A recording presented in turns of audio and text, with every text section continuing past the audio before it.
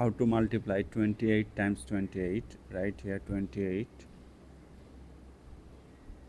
okay just start with this 8 8 times 8 equal to what?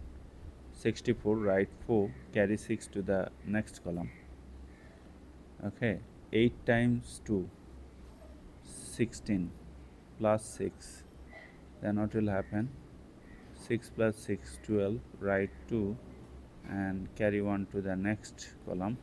6 times 6 plus 6 12 2 1 1 plus 1 2 22 so write 22 write 2 and carry 2 to here that is here.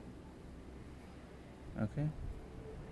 Now start with this 2 is in second column so first column will have 0 2 times 8 16 write 6 here carry 1 to the next column.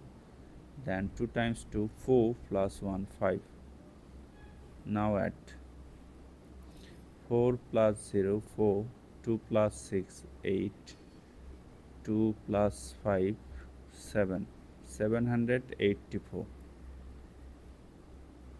is the answer